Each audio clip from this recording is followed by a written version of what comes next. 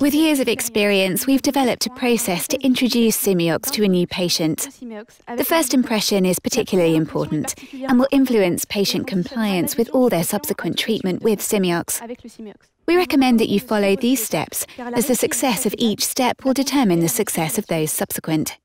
Before beginning the first session with Simeox, you can have the patient experience the effect of Simeox on yourself. That is, you place your patient's hand on your thorax, you inhale, and on exhalation, you activate Simeox so that your patient will feel the vibrations generated by Simeox in your bronchial tree.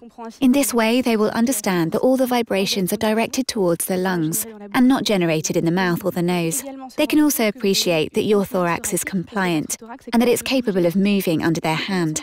We begin by explaining to the patient what Simeox will do for them. That is, it will liquefy their mucus and make it easier to mobilize and expectorate, as well as allowing them to retrieve the air trapped in their lungs, to access their expiratory reserve volume more easily, and reduce their thoracic hyperinflation. We explain to the patient that Simeox will extract small volumes of air from inside their lungs, that they will feel this signal from Simeox as a vibration inside their thorax. It is this vibration that causes the liquefaction of mucus during the expiratory phase. It is also important to explain to the patient that the more they call upon their expiratory reserve volume, the better and more effective will the session be.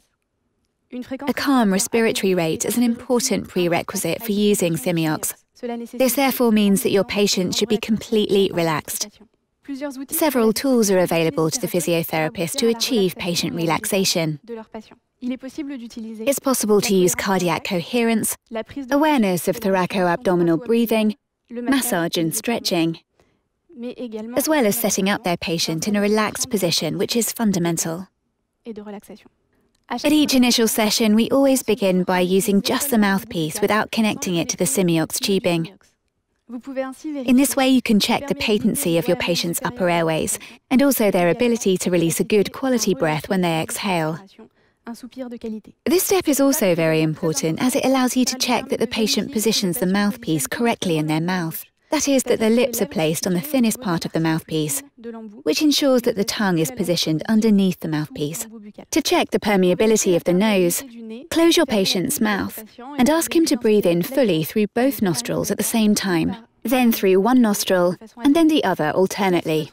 Place your hand or your patient's hand in front of the mouthpiece to check the quality of the breath released on each exhalation. The moister and warmer the breath, the better the quality. While positioning of the mouthpiece, do not give your patient too much guidance. Let them do it and correct them if necessary. During this step, if you place your hands on your patient's thorax, you can feel their tidal volume, their respiratory rate, and locate their tidal volume within their total ventilatory capacity. The mouthpiece also acts like a microphone. Once in place, it will allow you to hear the breath sounds in your patient's mouth more easily. In this way, you'll be able to locate the secretions in the bronchial tree and decide at which respiratory level your Simeox session should begin to be more effective. You can connect the mouthpiece to the tube and give the Simeox remote control to your patient. Let the patient press the remote control once so that they understand that they have control and that they must maintain pressure through the entire expiratory phase. For the first session, begin at 25% power so that your patient has the gentlest experience possible.